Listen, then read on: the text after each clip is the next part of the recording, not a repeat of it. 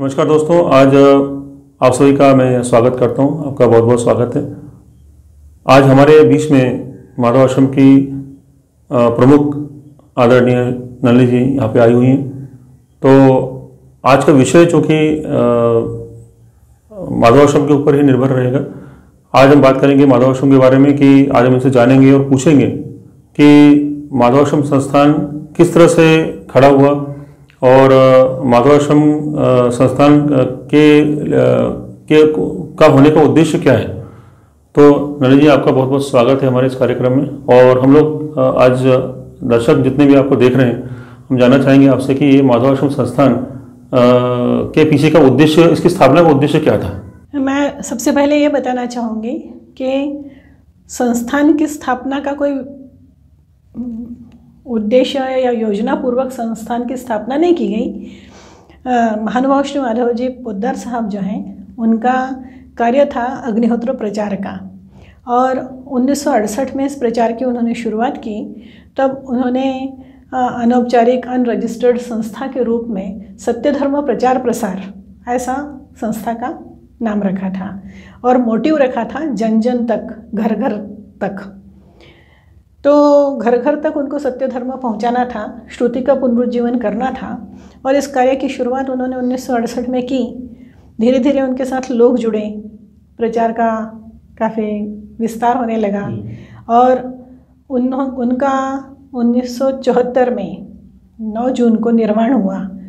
तो ये जो छः साल थे इस छः साल में कुछ हज़ार अग्निहोत्र पूरे भारत में शुरू हुए थे। और इसी दौरान बहत्तर में एक व्यक्ति विदेश भी गए थे अग्निहोत्र के प्रचार के लिए और विदेशों में भी अग्निहोत्र के प्रचार की अच्छी खासी शुरुआत हो चुकी थी। साहब के निर्वाण के बाद रजिस्टर संस्था को रजिस्टर्ड करने का सोचा गया और तब महानुभाव श्री माधव जी संस्थान के नाम से ट्रस्ट स्थापित किया गया। साहब कह रहे थे साहबी ट्रस्ट थे साहबी संस्था थे। साहब खुद उसको ऐसा कहते थे कि जो कुछ उन्होंने 1973 में मानव धर्म सम्मेलन किया था भोपाल के विजयनगर में और पूरे भारत से उसमें लोग आए हुए थे। करीब साढ़े तीन सौ चार सौ लोगों की उसमें उपस्थिति थी। उस कार्यक्रम के बाद आ, पुलिस महकमे से सीआईडी से कोई व्यक्ति पूछताछ करने के लिए आए थे और कार्यक्रम के बारे में उन्होंने पूछा था तब साहब ने उनको उस कार्यक्रम का बताया था कि वन मैन शो था। तो साहब के रहने तक साहब स्वयं ही संस्था थे। पर उनके निर्माण के बाद व्यवहारिक रूप से कुछ होना चाहिए रजिस्टर्ड इसलिए महानुभाव माधव जी संस्थान की स्थापना की गई। और जो साहब का उस समय में का निवास स्थान था उसे माधव आश्रम यह नाम दिया गया। आश्रम का अर्थ होता है कि इसमें तीनों श्रम शामिल हैं। शारीरिक श्रम श्रम कहते हैं। हम्म। बौद्धिक श्रम परिश्रम होता है और आत्मिक श्रम आश्रम होता है। हम्म। आश्रम शब्द का अर्थ काया वाचा मन से हम्म। जहाँ समर्पण हो श्रम हो काम हो वो आश्रम होता है। आत्मिक उत्थान के लिए जहाँ आश्रय लिया जाए उसे आश्रम ऐसा भी कह सकते हैं। पर आश्रम में सारा सारी चीज़ें शामिल हैं। शरीर मन और बुद्धि। सब जहाँ आत्मा सब जहाँ हम समर्पित करते हैं या जहाँ सब जगह इस सब का हमारा पूरा उपयोग होता है वह आश्रम होता है। तो साहब ने अपना सब कुछ इस कार्य के लिए समर्पित किया। इसीलिए इसका नाम उनकी जगह का नाम माधव आश्रम रखा गया। और इस तरह से रजिस्टर्ड होकर के संस्था के कार्य की शुरुआत हुई। मोटिव उसका वही था जो उन्होंने तय किया था। उन्होंने श्रुति पुनरुज्जीवन के लिए आधार बनाया अग्निहोत्र को कि अगर घर घर अग्निहोत्र पहुँचता है तो धीरे धीरे वेदों के प्रति लोगों में जागृति आएगी और लोग वेदों के प्रति आकर्षित होंगे और वेद धर्म को, वेदों के अध्ययन को वेदों का जो पूर्व में स्थान रहा है, मनुष्य जीवन में महत्वपूर्ण स्थान रहा है, वो वेदों को स्थान प्राप्त होगा। तो उसके लिए उन्होंने साधन के रूप में अग्निहोत्र को चुना कि पहले हर घर में अग्निहोत्र पहुँचना चाहिए। अग्निहोत्र पहुंचेगा विचार शुद्धि होगी संकीर्णताएँ वैचारिक संकीर्णताएँ खत्म होंगी ऊंच नीच जाति वाति इन सबसे लोग बाहर निकलेंगे और वेदों को सही दृष्टिकोण से देख सकेंगे।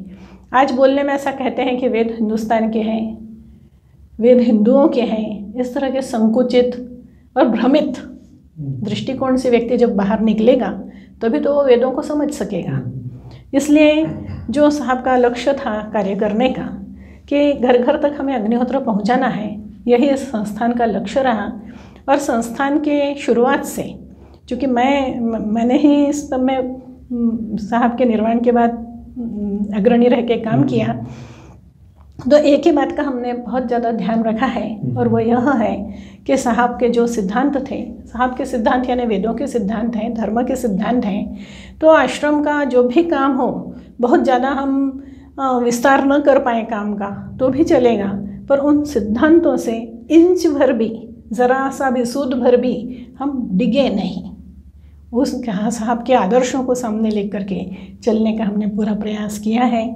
और इसलिए ये कह सकते हैं कि आज भी ये जो स्थान है माधव आश्रम, वो सौ प्रतिशत साहब की इच्छा, मर्ज़ी, कार्य के अनुकूल चल रहा है। अच्छा जैसा हमने देखा है कि आश्रम की बहुत सारी गतिविधियाँ हैं और बहुत सारे कार्यक्रम आज से कुछ साल पहले आश्रम ने आयोजित किए और आश्रम आयोजित करता आ रहा है और बहुत सारे अलग अलग क्षेत्रों में आश्रम ने कार्यक्रम किए तो आप हम सब लोगों को बताइए कि आश्रम की मुख्य गतिविधियाँ क्या हैं? और किन गतिविधियों पर आश्रम का केंद्रीकरण रहता है? आश्रम की मुख्य गतिविधि तो अग्निहोत्र का प्रचार है, जो साहब का ध्येय वाक्य है कि जन जन में और घर घर तक अग्निहोत्र पहुंचाना। तो अग्निहोत्र पहुँचाने के लिए, अग्निहोत्र के प्रचार प्रसार के लिए जो भी संभव होता है, वो प्रयास किए जाते हैं। उसमें लेक्चर टूर्स होते हैं, प्रदर्शनियाँ होती हैं, व्यक्तिगत मुलाकात होती है छोटी छोटी संगोष्ठियाँ होती हैं। इसके अलावा पिछले कुछ वर्षों से हमने जैविक खेती पर काफ़ी काम किया है क्योंकि अग्निहोत्रों से खेती जैविक खेती का ही एक प्रकार है। तो वर्षों से उन्नीस अठहत्तर से हम इस पर कई शिविर आयोजित करते रहे हैं बहुत सारे कार्यक्रम किए हैं बहुत किसानों को मोटिवेट किया है कि वह खेत में अग्निहोत्र करें और रासायनिक खाद और इन सब का इस्तेमाल न करें। इस पर सतत आश्रम ने बहुत सारे सेमिनार किए हैं। बहुत कुछ काम किसानों के बीच में किया है और वह काम हमारा आज भी चालू है। हालाँकि आज जैविक का काफ़ी कुछ प्रचार हो चुका है। जब अठहत्तर में हमने शुरुआत की थी हम्म। तो हम बिल्कुल ऐसे मतलब लोगों के बीच में कोई पागल खड़ा हो हम्म। इस तरह से हमारी बात को लिया जाता था। और आज ये देखते हैं कि जैविक पर हर कोई थोड़ा सा भी सोचने वाला व्यक्ति है जो किसानी करता है वो जैविक को लेकर के जागरूक है और कुछ करना चाहता है। तो आज पहले की तुलना में काम आसान हो गया है। और जैविक में भी बहुत सारी पद्धतियाँ हैं। कोई किसी पद्धति से कर रहा है कोई किसी पद्धति से। हम लोगों ने कोई पद्धति विकसित नहीं की है। हमारा कहना यह है कि जिस भी पद्धति से आप जैविक करते हैं किसी की भी कार्य प्रणाली को आपने अपना रखा है तो उसके साथ आप अग्निहोत्र को अपनाइए। तो जो आप काम कर रहे हैं उसमें आपको कई गुना ज़्यादा सफलता मिलेगी। क्योंकि जो भी हमारी फ़सल है वो वातावरण से पचानवे प्रतिशत ग्रहण करती है और ज़मीन से पाँच से दस प्रतिशत हम्म। तो उसके लिए तो हम बहुत सारी पद्धतियाँ अपना रहे हैं जो ज़मीन का है हम्म। वातावरण शुद्धि के लिए कोई प्रयास नहीं है हम्म। तो अग्निहोत्र अगर अपनाते हैं तो आपका काम सौ प्रतिशत ढंग से पूरा होता है तो वैसे भी जैविक में महत्व है गाय का गाय के गोबर और गौमूत्र और घी या और भी कुछ चीज़ों का इस्तेमाल करके हम जैविक खेती करते हैं। अग्निहोत्रों में भी, अग्निहोत्र के लिए गाय के गोबर के कंडे और गाय का घी ही लगता है। तो वो अग्निहोत्र अगर खेत में होता है तो जैविक सौ प्रतिशत पूरा होता है। वातावरण से पूरा न्यूट्रिशन लेने का काम जो पौधे करते हैं वातावरण से सारा ताकत जो पौधे लेते हैं वो उनको पूरी की पूरी मिलेगी अगर खेत में अग्निहोत्र किया जाए। तो इसलिए जैविक की जितनी भी पद्धतियाँ हम सब में शामिल होकर के लोगों को जैविक कर के साथ अग्निहोत्र जोड़ने के लिए पहले हमें ऐसा बताना पड़ता था कि अग्निहोत्र खेती कैसे करो। आज हम उस पर नहीं जाते हैं। हम्म। आज हम ये कहते हैं आप जैसे भी पद्धति से करते हो आप उसमें अग्निहोत्र को शामिल करो क्योंकि ये आज की आवश्यकता है। दर्शकों हम देखते आ रहे हैं कि आदरणीय नल्ली जी ने आज तक जो आश्रम को संभाला है, वो बहुत ही विपरीत परिस्थितियों में और बहुत ही कठिनता से ये आश्रम के सारे कार्य हुए हैं। बहुत ही आर्थिक स्थितियाँ इतनी कमज़ोर होने के बाद भी यह कार्य आपने किया और आज तक मेरे ख्याल से चालीस पैंतालीस साल आज हो गए आश्रम को खड़े हुए। तो आपका इस बारे में क्या कहना है कि आर्थिक स्थितियाँ कमज़ोर होते हुए भी आप आगे बढ़ रही हैं और कार्य कर रही हैं? क्या वो कभी ऐसा लगता नहीं कि आर्थिक स्थितियाँ काश मज़बूत होती मज़बूत होती तो मैं और अच्छा कार्य कर पाती या?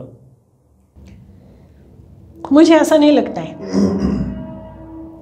मैं देखती हूँ गरीब का बच्चा भी छोटे से बड़ा होता है और अमीर का बच्चा भी छोटे से बड़ा होता है। ये होता है फ़र्क कि वो 12 साल का बच्चा 16 साल का दिखता है और ये 12 साल का बच्चा 12 साल का दिखता है और धीरे धीरे जब 16 साल का होता है तभी 16 साल का दिखता है। इसलिए इस तरह का जो महत्वपूर्ण कार्य होता है उसमें वो कार्य पैसे से नहीं होता वो पैसे से नहीं होता पैसे से बहुत सारा पोषण मिलता है। ये तो निश्चित है। पर अगर वो पोषण नहीं भी मिला तो भी कार्य को कोई मतलब कार्य रुकता नहीं है। और इसलिए विपरीत परिस्थितियाँ स्थितियाँ कार्य को रोकती नहीं है। कुछ नहीं आपका अगर निश्चय है आपको काम करना चाहते हैं तो ईश्वर आपको हर तरह की अनुकूलता देता है और उस तरह के लोग मिलवाता है और काम बराबर आगे बढ़ता है। तो ये सही है कि हमारा जो भी काम हुआ है वो पैसे वालों की मदद से नहीं हुआ है पैसे से नहीं हुआ है बल्कि पैसे का योगदान बहुत ही बहुत ही कम।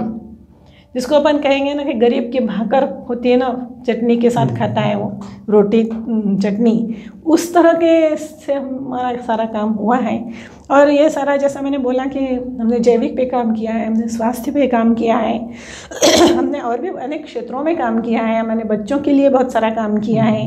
ये सारे काम में पैसे का अभाव होने से जितने अच्छे तरीके से हम करना चाह रहे थे उतना विस्तार से हम उसे नहीं कर पाए हम्म। पर काम करने में बाधा मतलब नहीं हो पाया ऐसा कुछ भी नहीं है हम्म। तो लोग भी जुड़ते गए लोगों की मदद भी मिलती गई जितनी ज़रूरत थी उतना नहीं रहा पर कुछ ना कुछ तो रहा और इस तरह से कार्य का धीरे धीरे क्यों न हो पर विस्तार हुआ है हम्म। शनै शनै विस्तार हुआ है आज हमारे आश्रम में कई बार लोग आते हैं तो उनको आते ही ऐसा लगता है कि ये जो कार्य है ये बहुत प्रामाणिक कार्य है। हम्म। और वो इसलिए लगता है कि वो 20 साल पहले आए थे।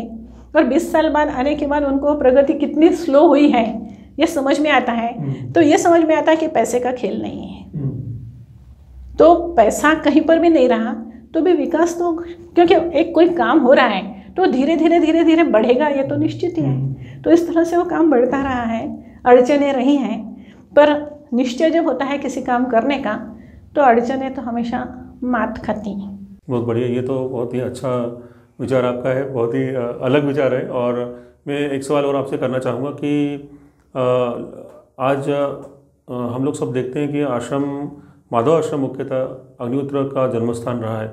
यहीं से अग्निहोत्र दुनिया को मिला है। तो मैं नली जी से सवाल पूछना चाहूँगा कि बहुत सारे मत बात आज चल रहे हैं इस अग्निहोत्र को लेकर। कि अग्निहोत्र किसने शुरू किया और अग्निहोत्र शुरू करने के पीछे कौन है? और अलग अलग धारणाएँ अलग अलग बातें इस संदर्भ में हैं। तो आप तो शुरू से जुड़ी हैं, इससे आपने देखा है आश्रम को बड़ा होते हुए। तो आपका क्या कहना है? आश्रम जन्मभूमि है कि क्या आपका विचार है इस बारे में? क्या बताना चाहेंगे दर्शकों को आप? इस विषय में क्या कहा जाए? यही है कि मैंने सही में उन्नीस में पहला अग्निहोत्र शुरू हुआ। वो वहाँ से सारा कुछ देखा है। और जिन्होंने पहला अग्निहोत्र शुरू किया वो हीरालाल जी शर्मा इसी भूमि के थे जहाँ आज माधव आश्रम है। उसके बाद फिर एक दो तीन अगले पाँच छः साल में आठ दस अग्निहोत्र शुरू हुए वो मैंने देखे हैं। और अड़सठ में अग्निहोत्र का प्रचार शुरू होते मैंने देखा है। तो ये तो निश्चित है कि अग्निहोत्र का प्रचार महानुभाव श्री माधव जी साहब ने ही प्रारंभ किया। और एक बहुत विपरीत परिस्थिति में उन्होंने शुरू किया क्योंकि जब उनके कार्य की शुरुआत थी तो उनको काफ़ी इस बात का विरोध सहना कर पड़ता था कि ये दो आहुति का भी कोई अग्निहोत्र होता है क्या? खेल बना रखा है हम्म। और चोटी नहीं गजे नहीं और लोग अग्निहोत्र कर रहे हैं ऐसा होता है क्या? हम्म। ये तो हरिजनों का अग्निहोत्र है और पेंट शर्ट पहनने वाले विदेशी लोगों का अग्निहोत्र है इस तरह से इसका कुछ तो खेल बना के रखा है। और जब कार्तिक चौक में उज्जैन में जब इन्होंने कार्य की शुरुआत की थी तो कई लोग बहस करने के लिए आते थे कि आप वेदों के साथ ऐसा खेल नहीं कर सकते हो। और ये वेदों ने ऐसा अग्निहोत्र कहीं नहीं बताया जैसा आप बता रहे हो। तो इस तरह परिस्थितियाँ थीं पर लोगों को अनुभव आते गए और इसलिए कारवा बनता चला गया। लोग जुड़ते चले गए। तो साहब ने कैसे इस कार्य की शुरुआत की है मैंने देखा है। और साहब खुद ये कहते थे कि उनको अपने नाम और यश के परवाह नहीं थी। और वो चाहते भी नहीं थे। उन्होंने उनके गुरु ने बताए हुए काम को सेवा भावना से किया था। इसलिए वो ये सोचते थे कि उनका नाम लेने की आवश्यकता नहीं है। उनका नाम नहीं लिया तो वेदों का अग्निहोत्र करके बताया तो चलेगा। न लिया जाए उनका नाम। वो तो यहाँ तक इस बात के खिलाफ थे। व्यक्ति पूजा के चूँकि खिलाफ ही थे तो वो तो अपना फ़ोटो भी नहीं चाहते थे कि कहीं अस्तित्व में रहे। कोई उनको कुछ विशिष्ट माने। पर बाद में हमने ऐसा देखा कि जब अग्निहोत्र काफ़ी कुछ फैल गया तो उसके साथ लोग अपना अपना नाम जोड़ने लगे। जिन्होंने साहब से अग्निहोत्र सीखा था ऐसे लोग भी उसके साथ अपना नाम जोड़ने लगे।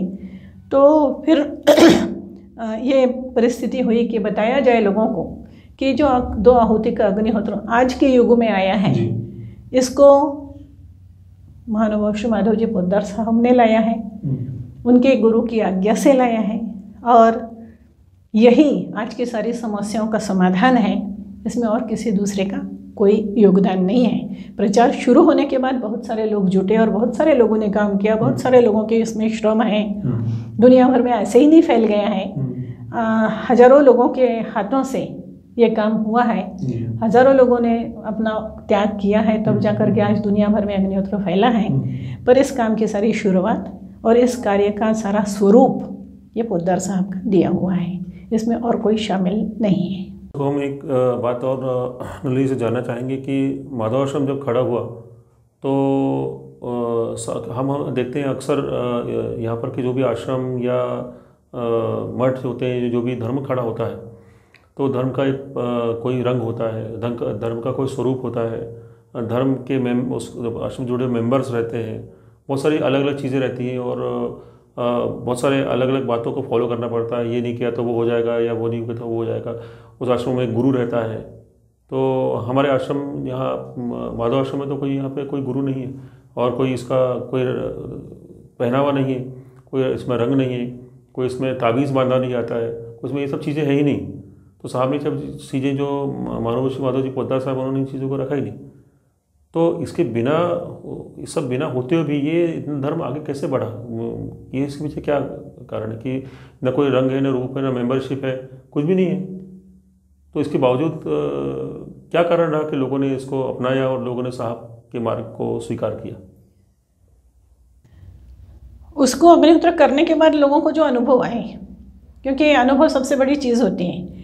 कोई कुछ बताए, कहीं कुछ लिखा है, इस किताब में ये लिखा है उस किताब में वो लिखा है, इससे महत्वपूर्ण चीज़ ये है कि आपका अपना अनुभव क्या है।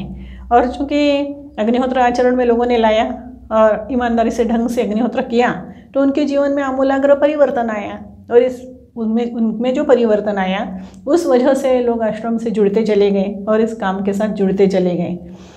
तो और बाहर भी जो लोग जुड़े हैं पूरी दुनिया भर में वो अग्निहोत्र को अनुभव करने से इस कार्य के साथ जुड़े हैं। और साहब ने तो कोई स्वतंत्र मत पंथ संप्रदाय धर्म नहीं चलाया है। जो। आज हम देखते हैं अलग अलग सबकी अपनी अपनी पहचान होती है। ऐसी पहचान इस आश्रम को कभी भी नहीं चाहिए है। वो सारी जितनी पहचानें हैं उन सब में आश्रम शामिल हैं। इसलिए आश्रम को अपनी स्वतंत्र पहचान की ज़रूरत नहीं है कि यहाँ के लोग इस तरह का पहने या कोई अलग संबोधन करें या अभिवादन के लिए कोई अलग शब्द का इस्तेमाल करें या कोई अलग वेशभूषा हो। उसको अग्निहोत्र करने के बाद लोगों को जो अनुभव आए क्योंकि अनुभव सबसे बड़ी चीज़ होती है। कोई कुछ बताए कहीं कुछ लिखा है इस किताब में ये लिखा है उस किताब में वो लिखा है इससे महत्वपूर्ण चीज़ है कि आपका अपना अनुभव क्या है। और चूँकि अग्निहोत्र आचरण में लोगों ने लाया और ईमानदारी से ढंग से अग्निहोत्र किया तो उनके जीवन में आमूलाग्र परिवर्तन आया। और इस उनमें उनमें जो परिवर्तन आया उस वजह से लोग आश्रम से जुड़ते चले गए और इस काम के साथ जुड़ते चले गए। तो और बाहर भी जो लोग जुड़े हैं पूरे दुनिया भर में वो अग्निहोत्र को अनुभव करने से इस कार्य के साथ जुड़े हैं। और साहब ने तो कोई स्वतंत्र मत पंथ संप्रदाय धर्म नहीं चलाया है। जो। आज हम देखते हैं अलग अलग सबकी अपनी अपनी पहचान होती है। हम्म। ऐसी पहचान इस आश्रम को कभी भी नहीं चाहिए है वो सारी जितनी पहचानें हैं हम्म। उन सब में आश्रम शामिल हैं हम्म। इसलिए आश्रम को अपनी स्वतंत्र पहचान की ज़रूरत नहीं है कि यहाँ के लोग इस तरह का पहने हम्म। या कोई अलग संबोधन करें या अभिवादन के लिए कोई अलग शब्द का इस्तेमाल करें या कोई अलग वेशभूषा हो या कोई अलग परिपाटी से वो लोग चले, उनकी किसी भी तरह की कोई अलग पहचान हो। उनकी किसी अलग पहचान की ज़रूरत नहीं है। जो जिस धर्म का है, जिस वाद मत का है, जिस गुरु का शिष्य है, जहाँ जो जैसा है, वो बसा, वैसा बना रहे और आश्रम द्वारा सुझाया हुआ, बताया हुआ, मार्गदर्शित अग्निहोत्र को अपने जीवन में अपनाएँ। इतना ही हमारा प्रयास है। तो इसलिए गुरु शिष्य परंपरा को खड़ा करने का प्रयास नहीं किया गया। गुरु मंत्र देते हैं, यह मंत्र सार्वजनिक है। हर एक के लिए वो मंत्र है हर एक ने अपने जीवन का उत्थान कर लेना है। और कोई भी नई पहचान क्योंकि संप्रदाय बनाना नहीं है। हम्म। संगठन बनाना नहीं परिवार बनाना नहीं कुटुंब बनाना कुछ भी नहीं करना है। हमें तो लोगों को जागृत करना है और उनका जीवन वो अपने घर में जो जीवन जी रहे हैं वो आनंद के साथ जिए। ये हमारा लक्ष्य है। हमारा अपना विस्तार नहीं है। आज समय की आवश्यकता है कि आप एक रजिस्टर्ड संस्था लो नहीं तो फिर आपका सारा व्यवहार नहीं हो पाएगा। और सरकारी और सारे तंत्र के हिसाब से एक संस्था की ज़रूरत इसलिए संस्था है। बाकी ये संस्था सारी संस्थाओं में समाहित है मन से। और सारी संस्थाओं की इज़्ज़त करती हैं। जो कुछ भी जहाँ चल रहा है धर्म के नाम से चल रहा हो या जो हम्म, आपका सामाजिक काम चल रहा है जो वैज्ञानिक काम चल रहा है उन सब के साथ हम जुड़े हुए हैं क्योंकि अग्निहोत्र मनुष्य के साथ जुड़ा है अग्निहोत्र प्रकृति के साथ जुड़ा है। हम्म। इसलिए सब में हम मतलब ये कैसा होता है कि पानी जैसा है। एक बाल्टी में पानी है उसमें लाल रंग डाल दो एक बाल्टी में पीला एक बाल्टी में नीला एक बाल्टी में और सबको मिला दो। वो माधव आश्रम है। बहुत बढ़िया। तो आखिरी में एक अंतिम सवाल मैं नली से करना चाहूँगा कि जिस तरह हम देख रहे हैं आज कि इस कार्य की जब शुरुआत हुई थी, उस समय प्रदूषण ये शब्द कहना लोगों को भाता नहीं था। और आज हम देख रहे हैं कि दिल्ली का प्रदूषण इतना ज़्यादा है और महानगरों में इतना भयंकर प्रदूषण है कि लोग त्राही त्राही लोग हालत उनकी खस्ता हो रही है उस प्रदूषण के बारे में। लोग उपाय नहीं मिल लोगों का। तो वो आपने वो दौर भी देखा है और आप ये आज का दौर भी देख रहे हैं। तो आप इस बारे में क्या कहना चाहेंगे कि ये क्या हमारी साहब की उपलब्धि है कि आज अपने आप ही प्रकृति ने मजबूर कर दिया है मनुष्य को अग्निहोत्र करने के लिए। आज की परिस्थिति बहुत भयावह है। दिल्ली को लेकर पिछले साल भी बहुत चिंता कर रहे थे लोग और आज भी चिंता कर रहे हैं। और सब जगह मतलब दिल्ली नहीं, पूरी दुनिया में ये सारी स्थिति है। दिल्ली का इसलिए अपन कहेंगे कि दिल्ली में मानव निर्मित उस प्रदूषण की बहुत ज़्यादा मतलब स्थिति बन गई है गाड़ियाँ बहुत हैं ये है वो है। इसकी वजह से पराली जलाई गई और क्या क्या कुछ बहुत सारी चीज़ें हैं कि उसकी वजह से प्रदूषण की ऐसी स्थिति बन गई। और ऐसे दिल्ली नहीं है दो चार शहर भारत के हैं सब जहाँ पर प्रदूषण भयंकर स्थिति में है और हर साल इन दिनों में हो जाता है। पर वैसे दुनिया भर प्रदूषण से प्रभावित है। अभी मैंने एक पढ़ा था ग्रेटा थनबर्ग नाम की एक लड़की ने प्रदूषण के खिलाफ आवाज़ उठाई है। आज बच्चे अपने कल को लेकर के चिंतित हैं। ये पूरी दुनिया की स्थिति है और ये वास्तविकता है। और अपन ये भी देख रहे हैं कि जहाँ जहाँ अग्निहोत्र होता है वहाँ के वातावरण में फ़र्क पड़ता है। प्रदूषण जनित बीमारियों से लोगों का बचाव होता है। और मानसिक स्वास्थ्य अच्छा होता है जो प्रदूषण की वजह से आप हम बहुत मारामारी देख रहे हैं लोगों की मानसिक स्थिति खराब देख रहे हैं शारीरिक के साथ साथ। तो जहाँ जहाँ अग्निहोत्र हो रहा है वहाँ इन सब चीज़ों में परिवर्तन आया हुआ हमें दिखाई दे रहा है। तो साहब ने तो ये कहा था कि प्रदूषण का इलाज अग्निहोत्र है। पर जब उस समय में कहा था उस समय में प्रदूषण ही किसी को समझ में नहीं आ रहा था क्योंकि तब हम प्रदूषण बढ़ा रहे थे। हमें प्रदूषण क्या है यही मालूम नहीं था। तो आज हम बढ़े हुए प्रदूषण को हम भुगत रहे हैं। इसमें लोगों को ये समझ में आ रहा है कि इसके किसी इलाज की ज़रूरत है। वैज्ञानिक लोग बैठ करके चिंता करते हैं। अल- अल- अलार्म की अलार्म बज गया है ऐसा कह रहे हैं। माश का अलार्म बज गया है। और कल ही परसों में राजस्थान पत्रिका का जो भोपाल का अंक है उसमें देख रही थी। तो दिल्ली का कहाँ चार सौ साढ़े चार सौ और ऐसे चार शहरों का बेंगलोर और कहाँ कानपुर कहीं का दिया हुआ था। फिर मध्य प्रदेश के चार शहरों का दिया था। मध्य प्रदेश का जो चार शहरों का दिया था वो भी दो सौ ढाई सौ से ऊपर था और भोपाल का एक सौ चालीस था। मुझे एक सब अच्छा लगा। मुझे इसलिए अच्छा लगा कि भोपाल एक ऐसा शहर है जहाँ कुछ हज़ार की संख्या में अग्निहोत्र नियमित होते हैं सवेरे शाम। शायद इसी का परिणाम हो कि भोपाल का एक सौ चालीस आया सबसे कम मतलब ढाई सौ और सौ का अंतर दूसरे मध्य प्रदेश के शहरों में और भोपाल में था। सब जगह अगर इसी तरह से अग्निहोत्रियों की संख्या बढ़ती है अग्निहोत्र करने वाले बढ़ते हैं तो ये जो फैला हुआ प्रदूषण है ये तो कम होगा ही मानसिक प्रदूषण पे भी बहुत ज़्यादा परिणाम होगा। तो शारीरिक स्वास्थ्य के साथ साथ मानसिक स्वास्थ्य मिलेगा। तो जो लूटपाट और जिस तरह की गंदी बातें आज चारों तरफ़ फैली हुई हैं कि ऐसी बातें फैली हैं कि आपको पेपर पढ़ने की इच्छा नहीं होगी सिर्फ़ नकारात्मक न्यूज़ ही उसमें रहती हैं। इसमें कमी आ जाएगी। ये तो निश्चित है। और ये सब चीज़ें सिद्ध कर रही हैं कि अपने पास जो समस्या है प्रदूषण की उसका एकमात्र इलाज अग्निहोत्र है जो साहब के द्वारा वेदों का बताया हुआ पुनरुज्जीवित किया गया है। हमारे स्टूडियो में आई और उन्होंने एक बहुत ही सार्थक चर्चा आज हम लोग के बीच में की और हम लोग को समझाया कि माधव आश्रम कैसे काम कर रहा है और कैसे अग्निहोत्र आगे जाके प्रत्येक मनुष्य का हथियार बनेगा प्रदूषण से लड़ने के लिए। तो एक बार फिर से नली जी का इस स्टूडियो में आने के लिए बहुत बहुत धन्यवाद और उन्होंने जो हमें अग्निहोत्र के बारे में और माधव आश्रम के बारे में बताया, वो बहुत ही अद्भुत था, अविस्मरणीय था और आशा है कि दर्शकों को भी जो हमारी बात सुन रहे हैं, वे अधिक और अधिक तरीके से आश्रम को और अग्निहोत्र के बारे में जान पाएँगे। नरेश जी, आपका बहुत बहुत धन्यवाद। आप स्टूडियो में इसके लिए।